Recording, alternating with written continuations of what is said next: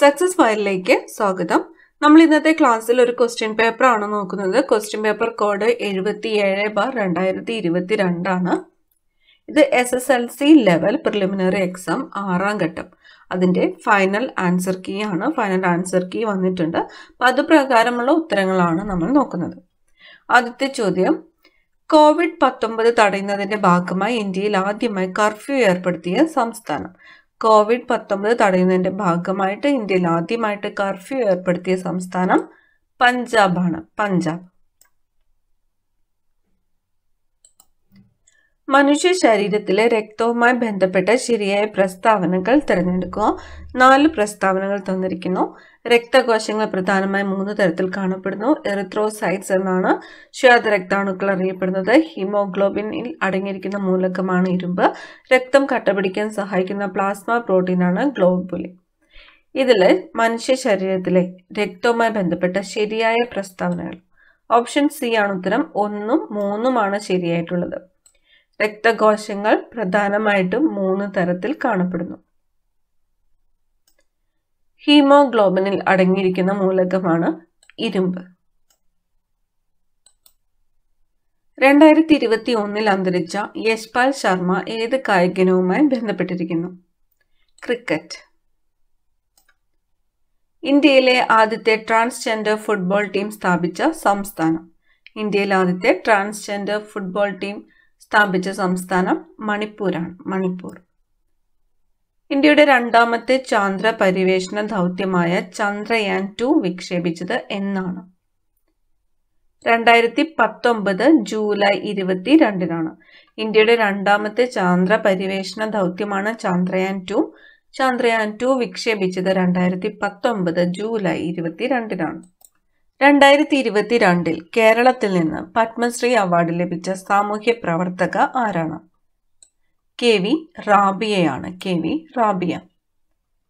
കേരളത്തിലെ രണ്ടാമത്തെ മുഖ്യമന്ത്രി. കേരളത്തിലെ രണ്ടാമത്തെ മുഖ്യമന്ത്രി പട്ടം താണുപിള്ള. പട്ടം താണുപിള്ള. കൊഴിഞ്ഞ ഇലകൾ ആരുടെ ആത്മകഥയാണ്? കൊഴിഞ്ഞ ഇലകൾ ജോസഫ് മുണ്ടശ്ശേരി. ജോസഫ് മുണ്ടശ്ശേരിയുടെ ആത്മകഥയുടെ പേരാണ് കൊഴിഞ്ഞ ഇലകൾ. കേരള പാണിനി എന്നറിയപ്പെടുന്നത്. കേരള പാണിനി എന്നറിയപ്പെടുന്നത് ആരാണ്? എ ആർ രാജരാജവർമ്മയാണ്. എ ആർ രാജരാജവർമ്മയാണ് കേരള പാണിനി എന്ന് അറിയപ്പെടുന്നത്.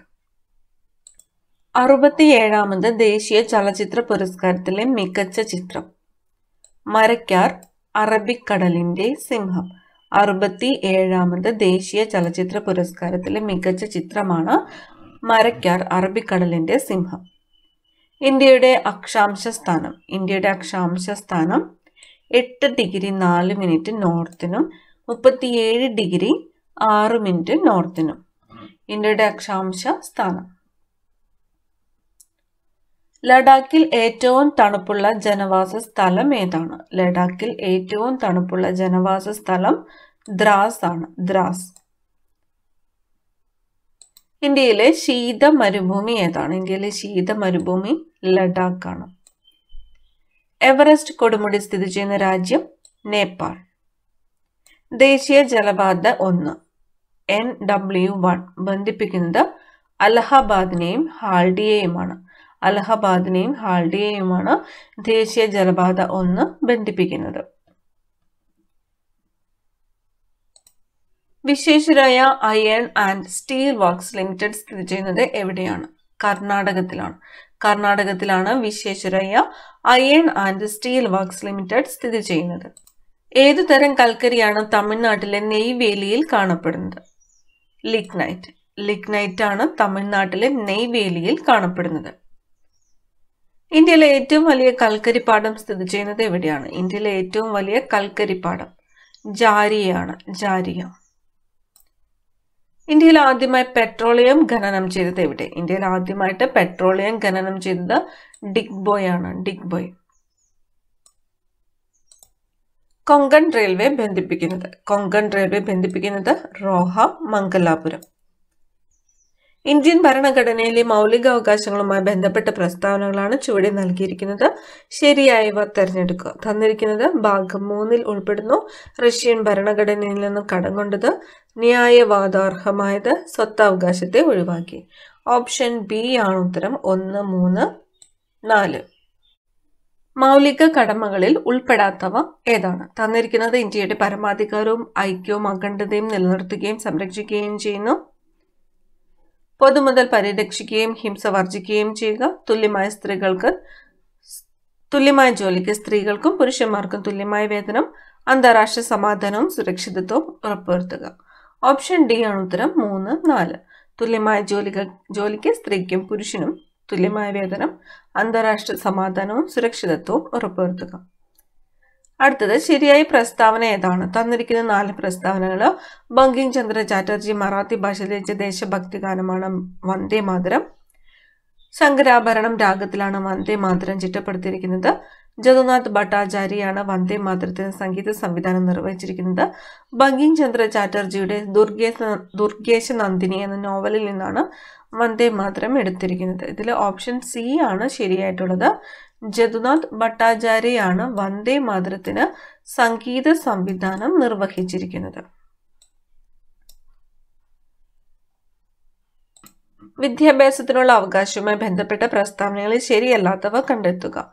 എഴുപത്തിയാറാം ഭരണഘടന ഭേദഗതിയിലൂടെ മൗലിക അവകാശങ്ങളിൽ ഉൾപ്പെടുത്തി ഇന്ത്യൻ ഭരണഘടനയുടെ വകുപ്പ് ഇരുപത്തി ഒന്ന് എയിൽ ഉൾപ്പെടുത്തി ആറു വയസ്സ് മുതൽ പതിനാല് വയസ്സ് വരെ നിർബന്ധമായും സൗജന്യമായ വിദ്യാഭ്യാസം. ഓപ്ഷൻ സി ആണ് ഉത്തരം. ഒന്ന് മാത്രം.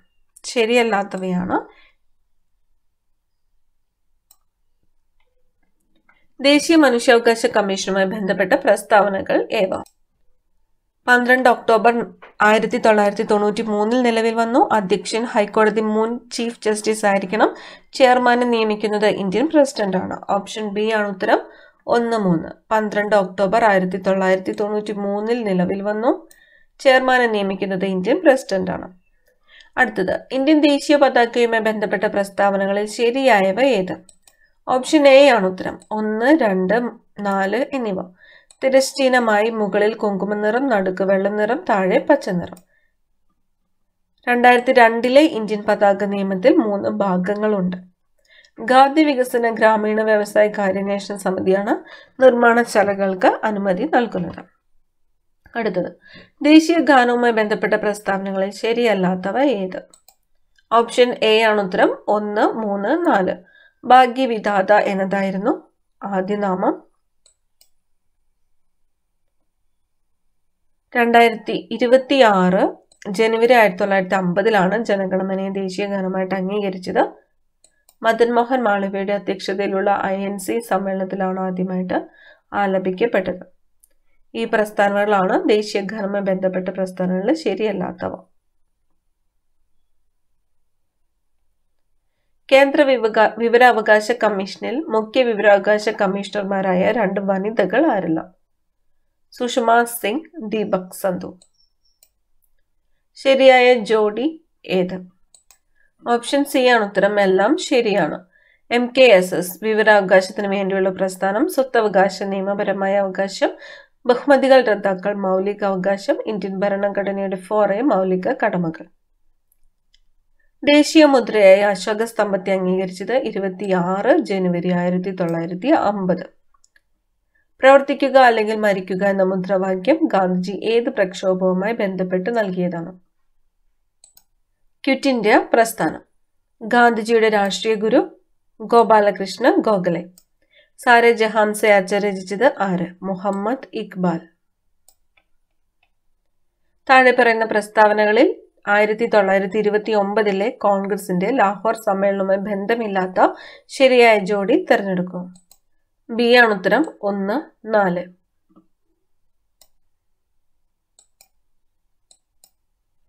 ഗാന്ധിജിയെ കോൺഗ്രസ് പ്രസിഡന്റായി തെരഞ്ഞെടുത്ത് നെഹ്റുവിന്റെ നേതൃത്വത്തിൽ ഒരു സിവിൽ നിയമലംഘന പ്രസ്ഥാനം ആരംഭിക്കാൻ തീരുമാനിച്ചു.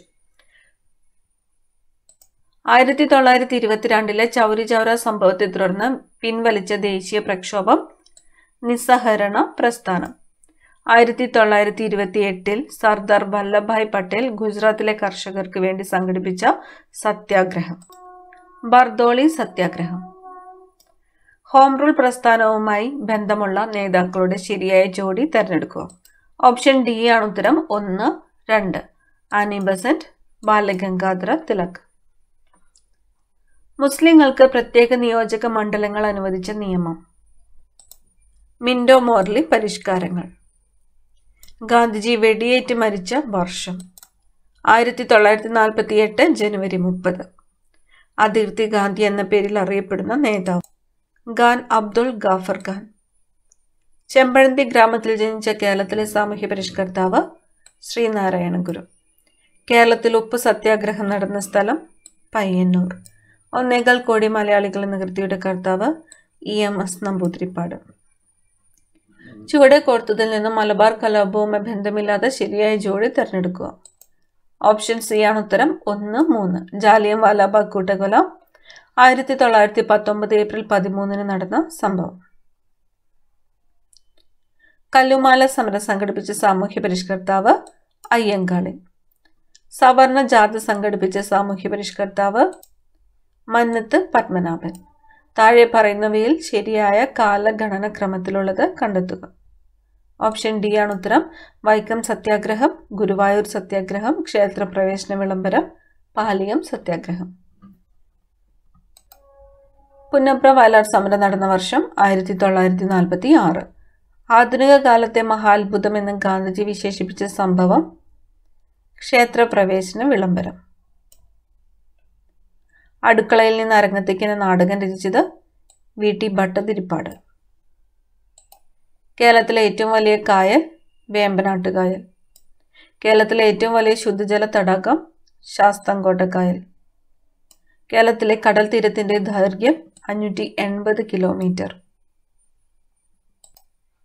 കേരളത്തിലെ കിഴക്കോട്ടൊഴുകുന്ന നദികളുടെ ശരിയായ ജോഡി താഴെ കൊടുത്തിരിക്കുന്നതിൽ നിന്നും കണ്ടെത്തുക. ഓപ്ഷൻ സി ആണ് ഉത്തരം. രണ്ട് മൂന്ന് പാമ്പാർ ഭവാനി. ആദ്യത്തെ റെയിൽപാത കേരളത്തിൽ പ്രവർത്തനം ആരംഭിച്ച വർഷം. ആയിരത്തി എണ്ണൂറ്റി അറുപത്തി ഒന്ന് മാർച്ച് പന്ത്രണ്ട്. കേരളത്തിലെ കൂർഗുമായി ബന്ധിപ്പിക്കുന്ന ചുരം പേരമ്പാടി ചുരം. പേരമ്പാടി ചുരമാണ് കേരളത്തെ കൂർഗുമായിട്ട് ബന്ധിപ്പിക്കുന്നത്. മാമാങ്കം നടന്നിരുന്ന തിരുനാവായ ഏത് നദിയുടെ തീരത്താണ്. ഭാരതപ്പുഴ. യവനപ്രിയ എന്നറിയപ്പെടുന്ന സുഗന്ധദ്രവ്യം കുരുമുളക്. പൂർണമായി മലയാള ഭാഷയിൽ അച്ചടിക്കപ്പെട്ട ആദ്യ പുസ്തകം സംക്ഷേപ വേദാർത്ഥം പി ആർ ശ്രീജേഷ് താഴെ പറയുന്നവയിൽ ഏത് കായിക ഇനവുമായി ബന്ധപ്പെട്ടിരിക്കുന്നു? ഹോക്കി. വാരിയലിലെ ആഗ്യാസ്ഥികളുടെ എണ്ണം ഇരുപത്തി നാല് ഹൃദയമിടി പറയാനുള്ള ഉപകരണമായ സ്റ്റെതസ്കോപ്പ് ആദ്യമായിട്ട് നിർമ്മിച്ചത് റെനെ ലെനക്കാണ്. പൂർണ ശയ്യ അവലംബരെ പരിചരിക്കുന്നവർക്ക് പ്രതിമാസം ധനസഹായം നൽകുന്ന കേരളത്തിലെ ആരോഗ്യക്ഷേമ പദ്ധതി ആശ്വാസകിരൺ. ജീവകം സിയുടെ അപര്യാപ്തത മൂലമുണ്ടാകുന്ന രോഗം സ്കർവി. താഴെ കൊടുത്തിരിക്കുന്നവയിൽ ഈച്ച മുഖേന പകരുന്ന രോഗം കോളറ. ആഗോള താപനത്തിന് കാരണമല്ലാത്ത ഒരു വാതകമാണ് നൈട്രജൻ. കിരൺ ആർക്ക സൽകീർത്തി എന്നിവ ഏത് വിളയുടെ സങ്കര ഇനമാണ് വെണ്ട. Indian institute of spice research സ്ഥിതി ചെയ്യുന്നത്. കോഴിക്കോട്. പരിസ്ഥിതി പ്രശ്നങ്ങളെ സംബന്ധിച്ച് ശാസ്ത്രീയ പഠനം നടത്തുന്നതിനായി തുടങ്ങിയ centre for science and environment എന്ന പ്രസ്ഥാനം ആരംഭിച്ചത് അനിൽ അഗർവാൾ. സൈലന്റ് വാലിയെ ദേശീയ പാർക്കായി പ്രഖ്യാപിച്ച ഇന്ത്യൻ പ്രധാനമന്ത്രി ഇന്ദിരാഗാന്ധി ഇരുമ്പിന്റെ ധാതു അല്ലാത്തത് ബോക്സൈറ്റ് താഴെ തന്നിരിക്കുന്ന പ്രസ്താവനകളിൽ ശരിയായത് ഏതെല്ലാമാണ്? ഓപ്ഷൻ സി ആണ് ഉത്തരം. ഒന്ന് മൂന്ന്. ബിത്തിനോയൻ ബിത്തിയോണൽ ആന്റിസെപ്റ്റിക് ആണ്. ഫിനോൾ ഡിസിൻഫിക്റ്റന്റ് ആണ്.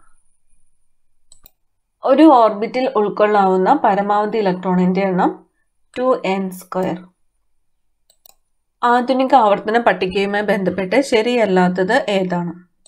ഓപ്ഷൻ ബി ആണ് ഉത്തരം രണ്ട് നാല്.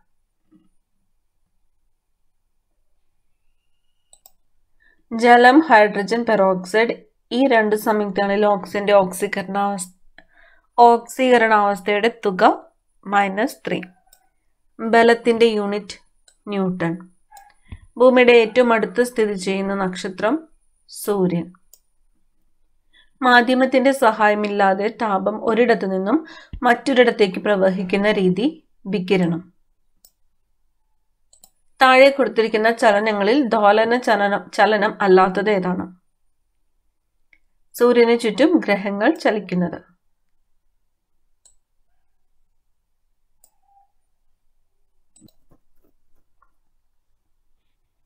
പ്രകാശം കടന്നു പോകുന്ന പാതയിൽ മൂന്ന് സുതാര്യ വസ്തുക്കൾ ക്രമീകരിച്ചിരിക്കുന്നു.